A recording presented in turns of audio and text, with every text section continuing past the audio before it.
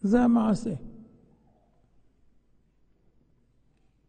אם כן, רואים מפה שהמתים יודעים מי חשוב למטה, מי נחשב למטה וכולי.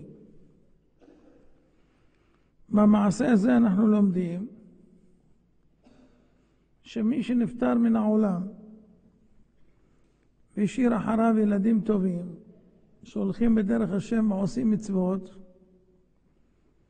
אז יש לו שמחה גדולה מאוד בשמיים. שמחה גדולה מאוד בשמיים. לכן הוא היה צוחק, היה שמח. ולמה הוא בוכה? הוא בוכה בגלל שהודיעו לו שהוא עוד מעט צריך לעלות למעלה. אז למה הוא בוכה? אדרבה, אם הוא יעלה למעלה, אז הם ילמדו ביחד. יהיו ביחד, יתאחדו יחדיו. כן, אבל ידוע שבן מזכה אב. כל זמן שהילד הוא פה, הוא מזכה את אביו. אבל אם הוא עולה למעלה, אז הוא כבר לא מעלה לו זכויות. אז זאת אומרת, מי שמשאיר אחריו ילדים שהולכים בדרך התורה, אשריו ואשרי חלקו.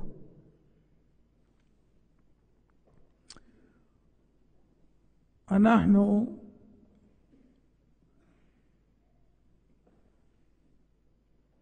אחי, אחותי ואני נצטרכנו להיפרד מההורים בתוך חודש.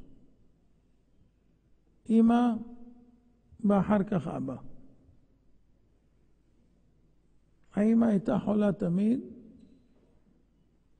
והיא נפטרה.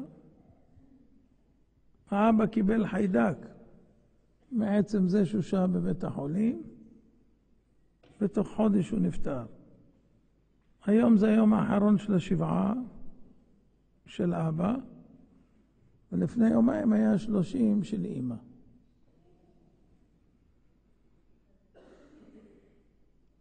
אבל אני שמח בשבילם. אנחנו מצטערים שאנחנו חסרים אותם. אבל אנחנו יכולים להועיל להם יותר כשהם שם ממה שאנחנו יכולים להועיל להם כאן. פה אפשר לתת להם קצת נחת רוח, קצת כבוד, טיפה כסף, ביקור פה, ביקור שם, שיחת טלפון, ותו לא.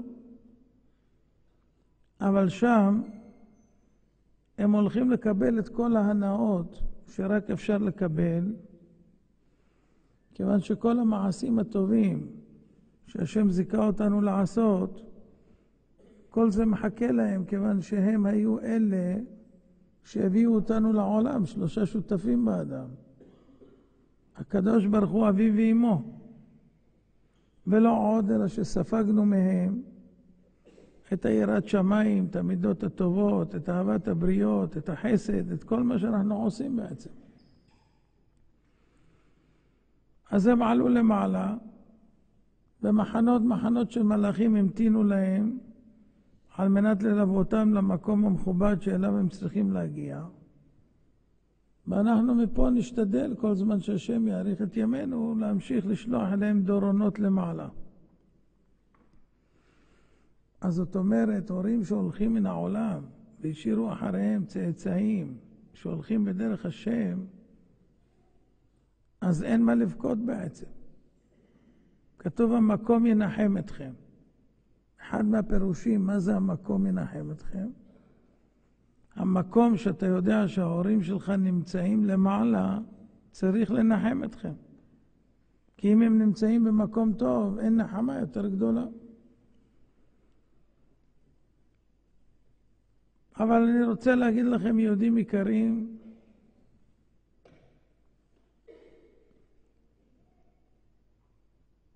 לא כל אחד זוכה, אני חושב, לגדול בבית כמו שזכינו לגדול.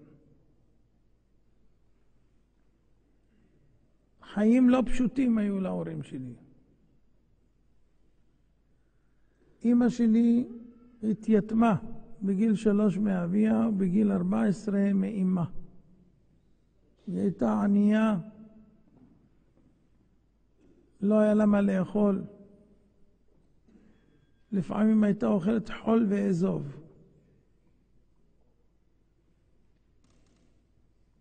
היה שייח שבקטנותה, בגלל שהיא תומה, רצה לאסלם אותה, לקחת אותה לבנו. כי בתימן יש חוק שאם יש יתומים, לוקחים אותם ומאסלמים אותם. והייתה צריכה לברוח עם שני אחיה. יממה וחצי רגלי יחפים, לברוח שלא ירדפו אחריהם בסוסים ויתפסו אותם. וברוך השם היא הצליחה לצאת מזה. באחת הפעמים היא הייתה צריכה מקום ללון היא ואימה, לא הכניסו אותם לבית, נתנו להם לישון במתבן. ישנו על קש. באמצע הלילה היא אומרת לי, אמא, אמא, אני מרגישה שאני מתרוממת כל הזמן. אני לא יודעת מה זה. אמרה לה, את עייפה מהדרך, תשני, זה שום דבר. בבוקר שהם קמו ועמדו לעזוב, התברר שהם ישנו על נחש ענק של מטרים ספורים. כשהיא הגיעה לארץ, אני מקצר, כן? לקחו אותה במשאית עם עוד כמה בנות לקיבוץ של השומר הצעיר. בדרך, יהודי תימני שכבר היה בארץ לפניהם, אמר להם, תיזהרו, רוצים לשמד אתכם. שמד. אז היא קפצה מהמשאית בנסיעה. אם לא, אני הייתי היום כנראה ראש מרץ.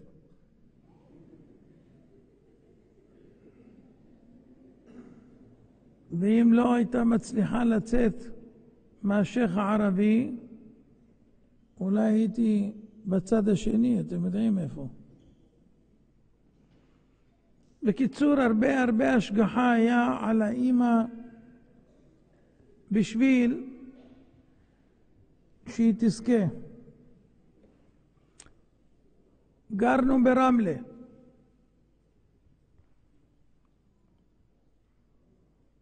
נולדתי שם. ליל הטבילה הראשון היה במקווה של בבא חכי, אחיו של הבבא סאלי. היה כפור, המקווה היה פתוח לשמיים. היה גלידי קרח שם. הרבנית הייתה מערבבת את המים כדי שהיא תוכל להיכנס ולחדור בכלל דרך הקרח שהיה למעלה. נערה בת 16 צריכה לטבול. היה לה חשש מהקור, זה סכנת חיים. והרבנית אמרה לה, תיכנסי, תמסרי את עצמך לקיים את המצווה בהידור ותזכי לבן צדיק שיאיר את העולם. אמא קפצה. מאותה טבילה נולדתי. מי הייתה רבנית? אשתו של בבא חכי.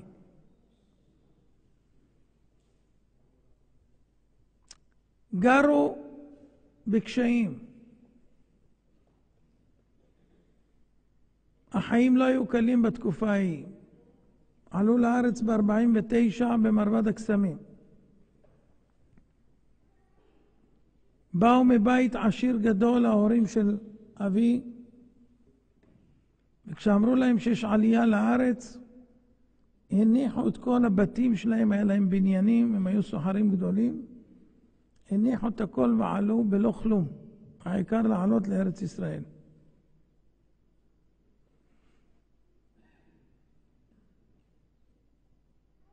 מרמלה עברו לתל אביב, לשבזי, משבזי לתל אביב בסוף המסע בירושלים. לא היה קל, אבל לא ניכנס לפרטים. אני רק אומר כמה דברים חשובים שיש ללמוד. אבי ואמי היו מחוברים מאוד מאוד מאוד. בימים האחרונים, כשאימא הייתה כבר, מה שנקרא, על ערש דווי, אז אבי סיפר לבני, כמין מספד, על אימא לומר כמה קשה לו המצב שבו היא נתונה,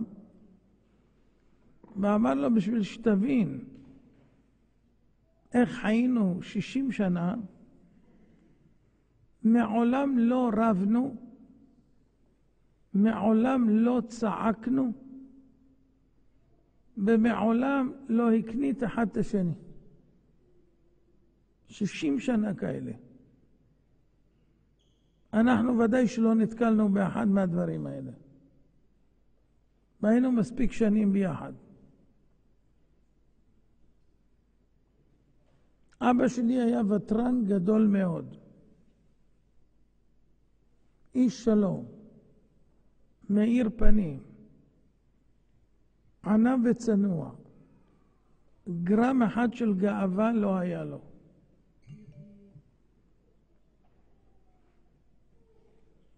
הוא הסתדר בכוחות עצמו, והוא לקח את כל המשפחה מרמלה והאיץ בהם לעבור לתל אביב הגדולה, מה שנקרא. בשעה שאנשים בעלי ממון היו צריכים לשקול צעד כזה הרבה זמן. היה זריז במלאכתו, והוא היה עובד בבנק קופת עם בתל אביב, נער מעלית. פעם היו נערים במעליות, והם לוחצים על הכפתורים. היום זה אוטומט, אז זה לא היה. נו, מה עושה נער שרוצה להתקדם בחיים? להיות נער מעלית זה לא התקדמות. אז כל פקיד ופקידה שיורדים, הוא מבקש מהם אם אפשר שילמדו אותו קצת חשבון. אז לימדו אותו קצת חשבון, כל פעם קצת. אחר כך לימדו אותו מה זה ריבית, אחר כך לימדו אותו כך וכך וכך וכך. בקיצור, הוא נהיה פקיד קבלה, אחר כך הוא נהיה סגן מנהל בנק ומנהל בפועל. כל אלה, כבר עזב את הבנק לפני עשרים וכמה שנים, שלושים שנה. כל אלה שהכירו אותו בבית וגן, איפה שהוא גר, אף אחד לא ידע שהוא היה כזה. הוא קיבל תעודת שחיטה בגיל עשר. כשגדול עומד על גביו הוא שחט שור. היום מצאנו את התעודה. אף פעם לא ראינו אותה. שמענו פעם סיפור כזה, אבל לא ראינו. היום ראינו. מצאנו היום מכתב מסעדיה דמארי. זה אבא של שושנה, דמארי. שהוא סידר לאבא לשדר בכל ישראל בשנת 64, 63, בכל ישראל אבא כל יום שישי היה קורא פסוקים מן התורה מהפרשה בתימנית והפטרה. אז כתוב באיזשהו מכתב שהוא היה מקבל 25, 25 לירות והוא היה מביא איתו שלושה עד חמישה נוספים שהיו שרים שירי שבת איתו גם. וסעדיה דמארי מעיד בכתב שאת הכסף הוא היה מחלק בין אלה שבאים, ואם לא היה מספיק הוא היה מוותר על חלקו ונותן להם, לאלה שלחוצים יותר, ואת המונית כל יום שישי שהיו נוסעים זה היה על חשבונו. כל זה בשביל לזכות את הרבים שישמעו דברי תורה ברדיו. לא ידענו את זה. היום גילינו את זה. הגיעו אנשים, כולם חוזרים על אותו תקליט. מאיר פנים, איש שלום, מתחמק ממחלוקות, מתעניין מה קורה אצל אחרים, זוכר אותם בשמותם. היה לו זיכרון פנומינלי. כל הלקוחות בבנק, הוא היה יודע את מספרי הטלפון שלהם והתעודות זהות בעל פה. יכולת לבוא לבנק בלי תעודת זהות, והוא אומר בדיוק מה המספר שלך. גם אחרי שנים אם לא תיכנס. גם בתקופה האחרונה, כשהייתי אומר לו מספר טלפון, אני אומר, תגיד לי את המספר, הוא לא היה רושם, וזהו, זה נכנס לקומפיוטר. הוא ניצל את הזיכרון הפנומינלי שלו ללמוד תורה. הוא ידע כמעט את כל התנ"ך בעל פה. כתר מלכות הוא היה עולה, ואומר עוד מקטנות בעל פה, תיקון פורים בעל פה, אזהרות בעל פה. כל זה בעל פה, ממרות שלמות בעין יעקב בעל פה. ילד שלמד על ברכיו של מורי בלי הפסקה. מה אדם יכול להספיק? ואת הכל הוא הצניע. אף אחד לא היה מרגיש בכלל. מי שזכה להכיר אותו יודע על מה אני מדבר. היה בעל תפילה גדול מאוד. בעל רגש. אנחנו החלטנו לחלק את כל הדיסקים שזכיתי לעשות ולהקליט אותו במשך שנים. את כל התנ"ך, תפילות וכולי, שירי שבת ועוד. נחלק אותם חינם לזכרו, שכמה יהודים התעוררו, כי אותי בכל אופן זה מעורר. כשאני שומע אותו קורא הפטרה או תפילה של ראש השנה ויום הכיפורים, אני לא צריך ספרי מוסר. אני ישר מתחיל לבכות, וזה עובד עליי מאה אחוז. אני יודע על הרבה מהקהילה שלנו, מעדת תימן, ששומעים את זה ובוכים. גדולים וצעירים, גם חילונים.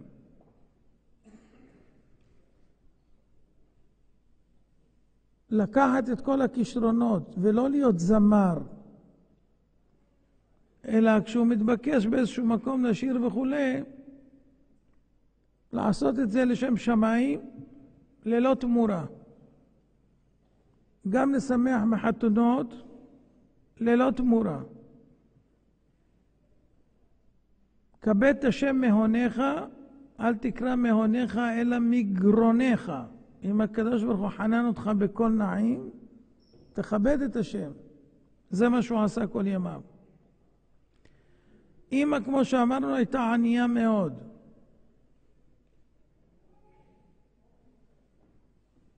והיא ידעה מה זה עוני, היא ידעה מה זה רעב.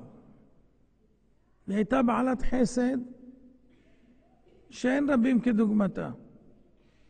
היא הייתה מאכילה כל אדם, כולל גוי. אחי סיפר שבנו בזמן האינתיפאדה ערבים ממול הבית, אז היא שלחה אותו לשאול אותם אם רוצים לשתות מים קרים, כיוון שהיא ראתה אותם מזיעים והם לא שותים. אז הוא פחד. אז היא אמרה לו, אל תפחד. אם אתה עושה מצווה, אל תפחד. הוא הלך נתן להם לשתות, חזר. אז היא שאלה אותו, שאלת אם הם אכלו? אומר, מה אני אשאל אותם אם אכלו? לא שאלתי אותם. אמרה, לך תקרא להם שיבואו לאכול. מי עושה דברים כאלה? כל שני ורביעי עשרות אנשים היו באים לאכול בבן יהודה בתל אביב ולשבת, להגיד דברי תורה ושירה מ-11 בצהריים עד שעה אחת בלילה. עשרות שנים. חסד, חסד, חסד. בבית כזה גדלנו. שם ספגנו את כל מה שאנחנו עושים. זה לא בסתם. אין מתנות סתם. היו שואלים את אבא שלי, תגיד לי, איך זכית לילדים כאלה? אז הוא אמר, אני לא יודע.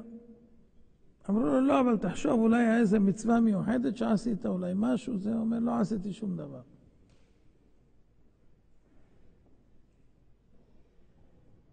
יהודים יקרים,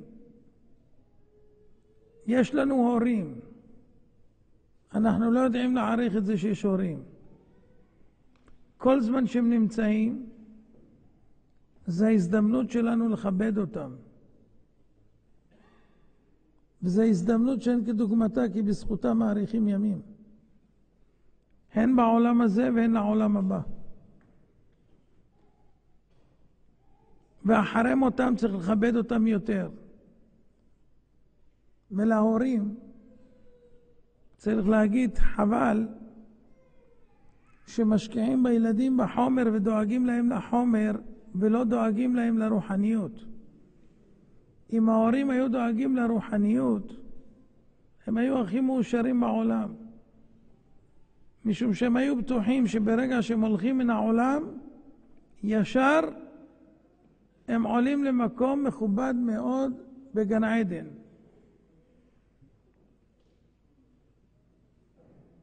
אהבתי את ההורים שלי, אבל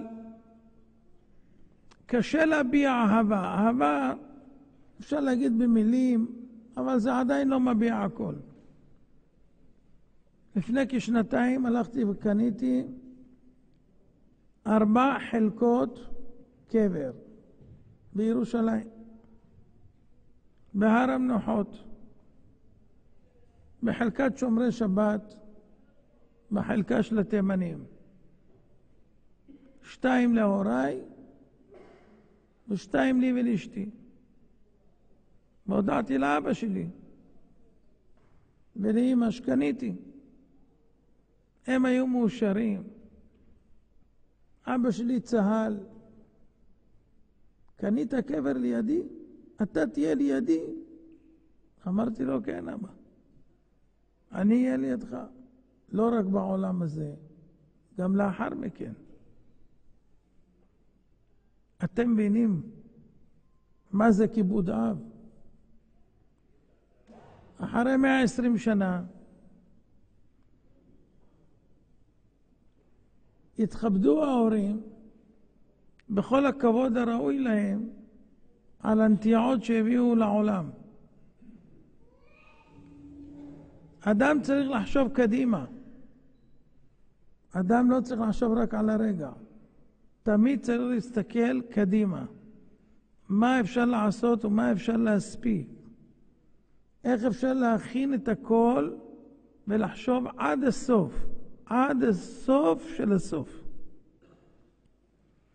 רוב האנשים בקושי חיים את חיי היום, ורובם חיים את העבר. נוסטלגיה ואיך היה, פחות איך יהיה. ובעצם ביד שלנו להחליט איך אנחנו רוצים להיות. אימא שלי הייתה חכמה מאוד גדולה. אם היו היום משגיחים בישיבות עם חוכמת החיים שלה, אף אחד לא היה נושר. היא הייתה מכינה לי אוכל, הייתה יושבת לידי, כמובן אחרי שאימא נותנת לך לאכול ואתה מרוצה מהאוכל ואתה נהנה. יושבת לידך, ואתה עסוק באכילה. אז יש איזה עשר דקות, רבע שעה, שאפשר לשבת לדבר. היא לא מוכיחה אותי, היא לא אומרת לי מוסר, היא מספרת לי סיפור. והסיפור יש לו כוונה. ומהסיפור אתה צריך להבין את המוסר השכל. ואם היא מרגישה שאתה לא מקשיב או שאתה לא מבין, אז היא מסיימת ואומרת לכן, יא בני, כדאי להיזהר מכך וכך, מחברים רעים. אתה רואה, המקרה הזה לא היה קורה אם היה ככה ואם היה ככה, וככה מחדירה לך. זה לא אליך, זה סיפור. אתה יכול להתנגד לכזה דבר? אף פעם לא קיבלנו מוסר בצורה של הצלפה. תמיד חיכתה לעיתוי שאתה רגוע, שאתה קשוב, שאתה נהנה ממנה, ואז היא מכרה את הסחורה. תחשבו על מה שאמרתי, אם אמהות רבות יאמצו את השיטה ואבות, לא להגיד לילדים את מה שרוצים בשעה שאנחנו עכשיו נפעלים, פירושו רוצים לסגור עניין, להגיע לתכלית מיד, אלא נמתין לעיתוי המתאים, הסיכויים שלנו גדלים שהדברים יתקבלו בהבנה. זה נקרא חוכמת חיים. אין לנו סבלנות, אנחנו קצרי רוח. כמה אהבה הם השקיעו בילדים, כמה ברכות, כמה תפילות, בלי הפסק. כל לילה לפני שהייתה הולכת לישון, מברכת את כל הילדים, הנכדים והנינים. את כולם, אחד אחד בשמותם. דאגה של אימא, של סבתא.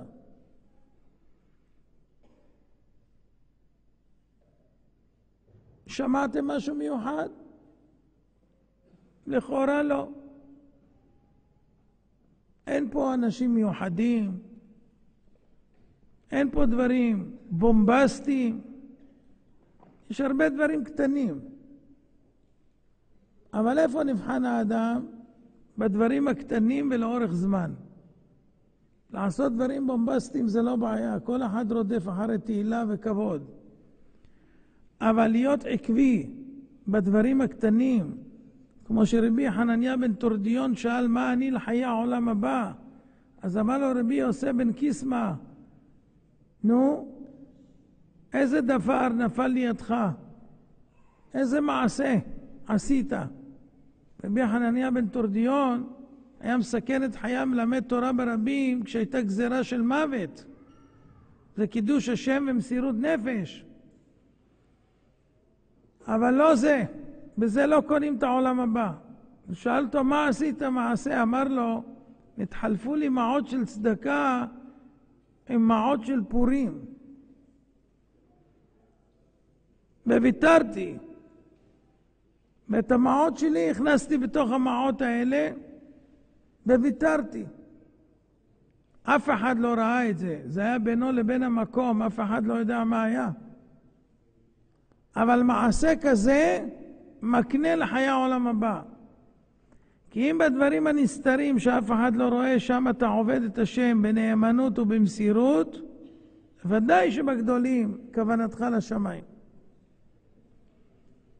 אז זאת אומרת, גם אם ההורים שלכם נראים פשוטים, הם לא פשוטים. המעשים לא נמדדים כמו שאנחנו חושבים. האם נפש האדם עולה למעלה או נפש הבהמה יורדת למטה? שואל שלמה המלך. איזה מין שאלה, מה אנחנו לא יודעים? הוא אומר לא. יש נפש אדם, שאנחנו רואים אדם שבעינינו הוא אדם גדול ודגול, ולא בטוח שהוא מגיע למעלה. יש נפש של בהמה, של אדם שבעינינו הוא בהמי וגס, והוא לא רוחני מספיק, ולא בטוח שהוא יורד למטה. יכול להיות שהוא עולה למעלה. רק בוחן לבבות יכול לראות מי הוא מה. אבל זה צריך לדעת. העבודה היא עבודה כל החיים, כל יום, בקטנות. בקטנות, בקשיים, בניסיונות. צריך לראות לאורך כל הזמן את ההשגחה האלוקית. ואם אדם זוכה לראות את ההשגחה האלוקית, אשרה ואשרי חלקו. היא סבלה ייסורים, מעולם היא לא התלוננה. אחרי שכרתו לה רגל. שאלתי אותה, אמא, איך את מרגישה? אף אחד לא דיבר איתה על הכריתה. היא גם לא אמרה שכרתו לה והיא גם לא הצטערה ולא בכתה, נשארה אותו דבר. שאלתי אותה ברמז, איך את מרגישה? אולי תגיד לי משהו. אמרה, ברוך השם, והצביעה למעלה. הוא קובע הכל. אחרי חודש הורידו לה עוד רגל. שום תלונה. לא היה לה כבר ורידים להכניס שם מחט, הכניסו לה בצוואר. היא אומרת לאחות, די מאמי, די מאמי. זהו. שום תלונה, שום גערה, שום צעקה. זה בניין מהקטנות, מהקטנות, מהקטנות. לראות השגחה כל הזמן. מגיל עשרים היא הייתה סובלת מראומטיזם, שזה דלקת בעצמות, שזה כואב מאוד ואין לזה תרופה. אבא היה סובל איתה ביחד למרות שהיה בריא. היא מצטערת והוא בצערה. היא לא ישנה וגם הוא לא יכול לישון. וגם הוא סובל הכל בשקט. מעולם הוא לא הסכים ללכת לרופאים, והוא צדק. שמונים שנה הוא חי, לא היה אצל רופאים. פעם אחת הוא נכנס לידיים שלהם והוא לא יצא משם.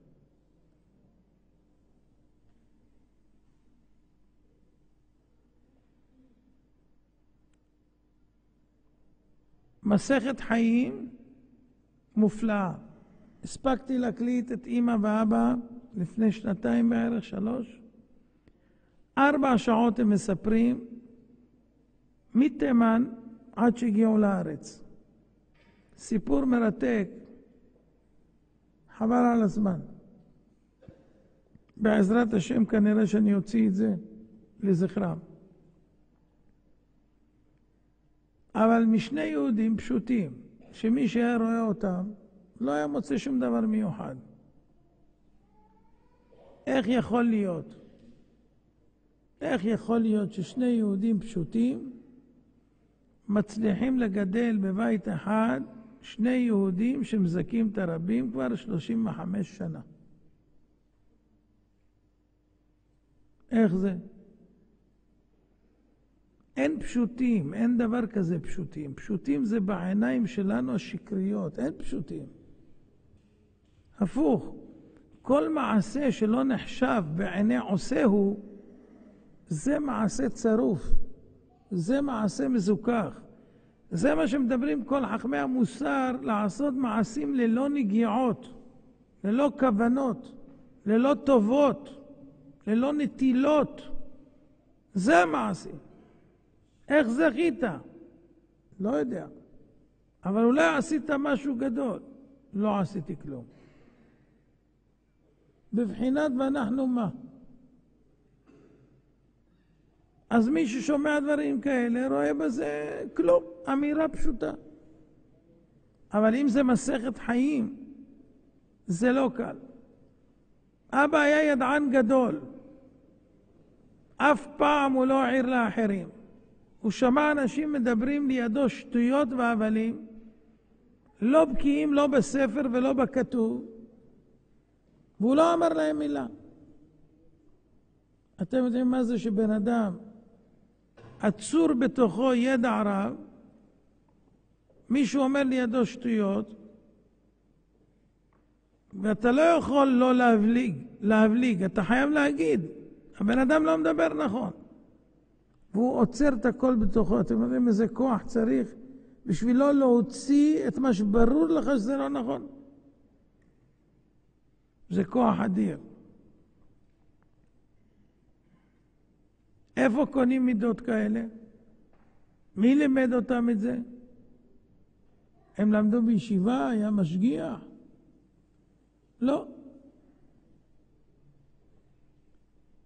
חוכמת חיים. ההתבוננות, מה נכון לעשות, דרך ארץ. בלי, בלי כלום. רק להסתכל בחיים, להסיק מסקנות, מה משתלם, מה לא משתלם, מה נכון, מה לא נכון, מה כדאי, מה לא כדאי. זה מספיק בשביל שבן אדם יוכל להגיע לדרגות גבוהות ביותר. אם הוא עוד לומד ומתכוון ללמוד כמו שצריך, על אחת כמה וכמה. אין יהודים פשוטים. כל יהודי ויהודייה שיושבים פה הם לא פשוטים בכלל.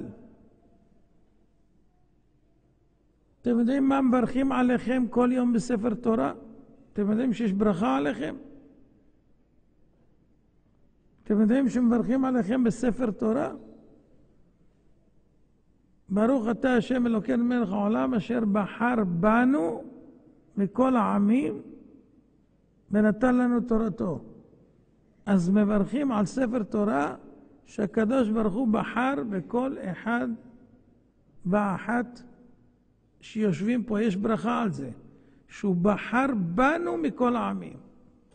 כמה יש בני אדם בעולם? שבע מיליארד היום. כמה יש יהודים שמזוהים כיהודים? 13 מיליון בלבד. ומתוך השבע מיליארד, הקדוש ברוך הוא בחר כל אחד ואחת בפינצטה, מתוך הערימה הגדולה של שבע מיליארד, הקדוש ברוך הוא בחר כל אחד פה שמיואש ומדוכא וחושב שאין לו צ'אנס ואין לו הזדמנות והוא לא שווה שום דבר והוא לא נולד במשפחה הנכונה והוא לא מוצלח והוא גם לא עשיר והוא לא רואה שום סיכוי. שטויות והבלים. מברכים עליך ברכה כל יום, כל היהודים, אשר בחר בנו מכל העמים. ועל זה מברכים עוד ברכה מיוחדת, שלא עשני גוי. אתם חושבים להזכיר שם ומלכות, זה סתם? לא תישא את שם השם לשווא. ומברכים שהשם בחר בך. תביאו את הבן אדם הכי מיואש, השם בחר בו. כל מה שאדם יבקש ברוחניות מהקדוש ברוך הוא, הקדוש ברוך הוא מתחייב לתת לו. מתחייב לתת לו. אם הוא כנה ואמיתי, הקדוש ברוך הוא ייתן לו. ילד יבוא לאבא ויגיד לו, אבא, תעשה לי טובה, תקנה לי מחברת, אני רוצה להכין שיעורים. הילד לא ית... האבא לא ייתן לו? שילם עליו שכר לימוד, משלם בית ספר, משלם מורה פרטי, משלם הכל. הילד אומר מחברת, לא ייתן לו? ייתן. מחק, לא ייתן. עת, לא ייתן. שתי מחברות, לא ייתן. אני רוצה עוד ספר, אני רוצה ללמוד עוד ספר, עוד ספר. ספרייה, לא ייתן לו? מי לא רוצה שהבן שלו יהיה חכם? בורא עולם יש לו בעיה עם מחק, עם מחברת, עם ספרים, עם ספרייה? אין לו שום בעיה. אתה רוצה כלים? אני אתן לך. אם אוטו יועין לך, שאתה תוכל לעשות איתו מצוות, בטח שאתן לך. איזה אתה רוצה? מה שתרצה אני אתן לך. אדירה, צרה, אין לך הרחבת הדעת, קבל גם דירה. אבל בוא נראה, אתה משתמש עם הכלים למה שאני ביקשתי? אם כן, אני ארחיב לך תמיד. מה שאתה צריך.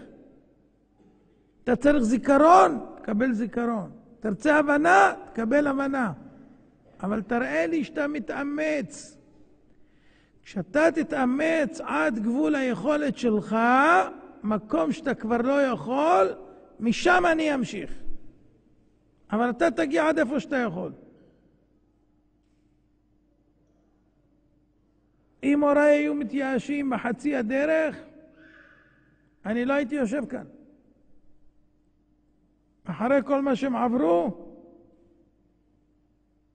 אבל הם לא התייאשו. וגידלו ילדים בתל אביב, במקום שכולו שמאלנים. אתם מאמינים שבתל אביב יכולים לצאת שני ילדים שיזעקו את הרבים ויחזירו בתשובה? כשלמדנו הפוך, כשזרקו לי את הכיפה בבית ספר, כשדרכו על הכיפה שלי. אתם מאמינים דבר כזה? מי שלא מבין את זה, צריך לחוות דבר כזה.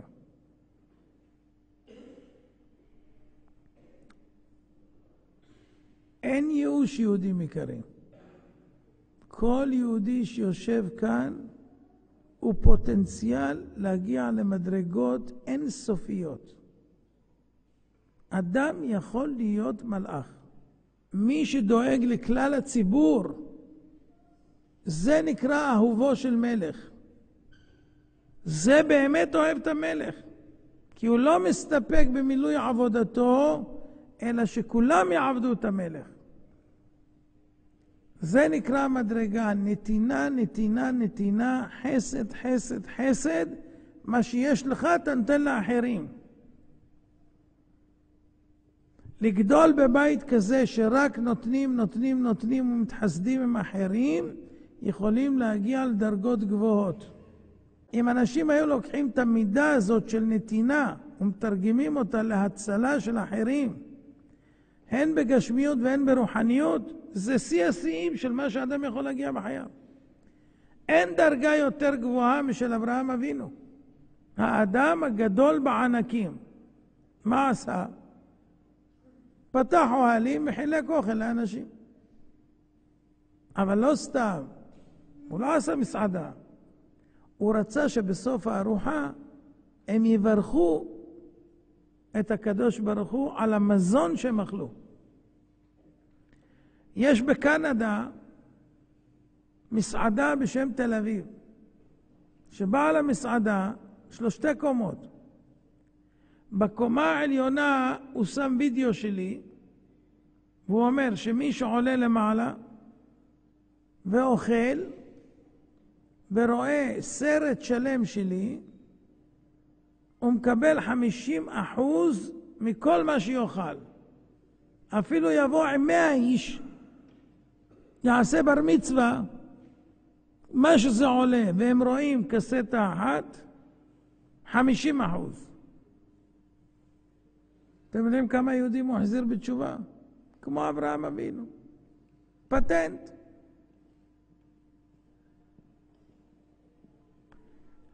כל רעיון שאדם רק יאמץ בשביל לזכות הרבים, הקדוש ברוך הוא יתמוך בו, יעזור לו, ייתן לו עצות, ייתן לו רעיונות, ייתן לו אפשרויות, וייתן לו לזכות כחפצו וכרצונו את הרבים, שאין מעלה יותר גדולה מזאת.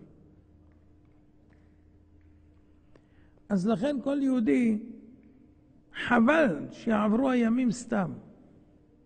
כיוון שאני נמצא בתקופה שאני יושב הרבה שבעה, אז אתה שומע הרבה דברים וקורא הרבה דברים בעניינים האלה. היה אחד שראה אדם שקוברים אותו, ואחריו, אחרי המיטה הולכים ילדים, נכדים, נינים, בוכים, בוכים, בוכים. שאל בן כמה הוא? אמרו לו תשעים. אז למה אתם בוכים? הוא בן תשעים. אמרו סבא, אבא, אבא, בבא, התחילו לבכות. אמר להם, למה אתם בוכים היום? למה לא בכיתם אתמול? למה לא בכיתם שלשום? גם אתמול הוא נפטר.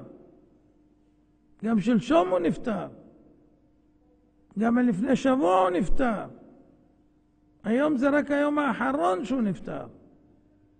אבל כל יום שעובר, אדם נפטר ממנו. לא נשאר. החיידק לא ממית. הזמן שנקבע. אימא שלי יומיים לפני שנפטרה, אמרה לאבא שלי, מי שירצה יוכל לראות את ההספד שלי על אימא ואבא באתר שלנו שופר.tv. היא אמרה לו, אבא, כואב לי, כואב לי. אם אני הולכת מהעולם הזה, אתה לא תישאר לבד, אתה תבוא איתי.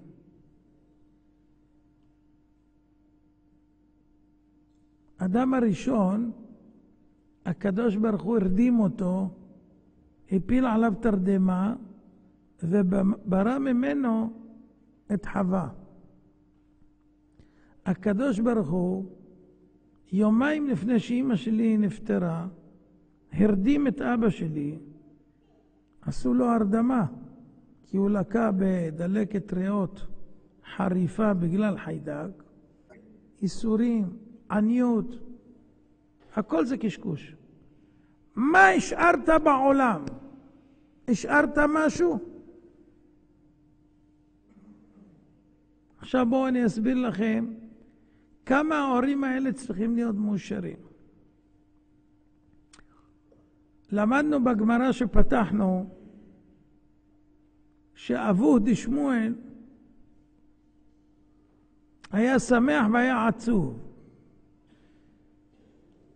היה שמח שיש לו בן כזה שנחשב מאוד למעלה, והיה עצוב שהוא צריך לבוא למעלה. למה אתה עצוב? אז הוא יבוא למעלה, תהיו חברותה. כי אתה לא נשאר פה בעולם להמשיך להביא לי זכויות, אתה תהיה איתי. אז מי יביא לי זכויות? אבל מי שמחזיר בתשובה, הזכויות לא נגמרות לנצח נצחים. גם אם הוא לא נמצא בעולם, הזכויות לעולם ולעולמי עולמים אינן נפסקות. כי כל מי שחזר בתשובה דרכו, הוא וצאצאיו וצאצאי צאצאיו, בכל מצוותיהם ותלמוד תורתם וכל מה שלמדו מהם אחרים, כל זה עולה בכל רגע למעלה לשורשים שאחראים לזה. אתם מבינים כמה צריך להשקיע בזיכוי הרבים? זו השקעה הכי טובה שיכולה להיות בעולם.